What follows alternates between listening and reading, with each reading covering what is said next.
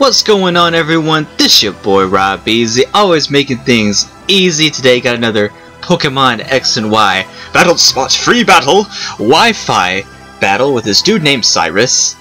And he, he had some interesting Pokemon in his team, ain't gonna lie. I thought it'd be a good challenge, so let's get started, shall we?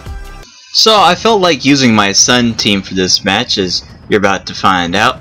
So Cyrus will now send out his Electivire, and I lead off with my Starmie.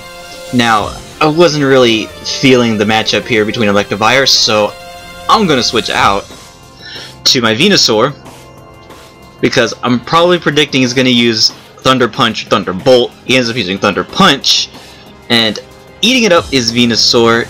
Not very effective. But did he surprise me with the Fire Punch? Damn it! Oh! Oh! Man, I, I thought Venusaur could take that hit, but I guess not. But Venusaur's out. So now I'm switching into my Charizard. I ain't got a choice now. It is time to Mega Evolve to Charizardite Y. Now in my pre the previous video, the other dude, Hammond, had a Charizardite Y. Mega Charizard Y.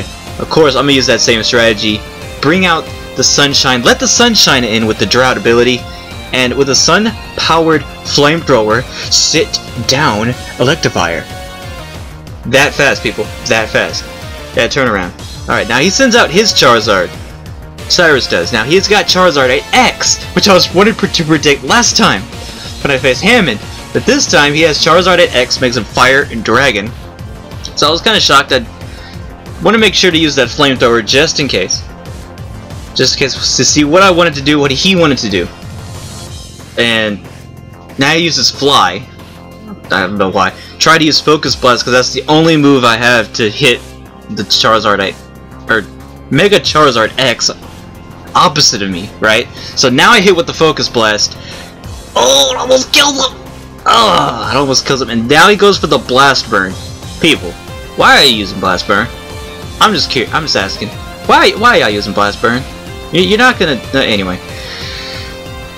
so now I send out my only Pokemon left, Starmie Goes for the Ice Beam, and it's gonna take out that Charizard. Charizard's basically death fodder after that Blast Burn. I mean, see, that's the problem with Blast Burn. You can't be using that shit. You can't be using that. Anyway, so now the sunlight fades. Good enough. This is going to come into play later. Pinsir is now brought onto the field. I thought he was gonna use a bug move. I really thought he was gonna move first, use a bug move, but no. Starmie is faster. Uses that Hydro Pump, and it hits. Bring it down. I don't think the critical hit would have even mattered. I really don't think so. But anyway, still ended up winning the battle. Uh, it was a good job by Cyrus. So let me know what you guys think in the comments down below. And until next time, peace, y'all. I'm out.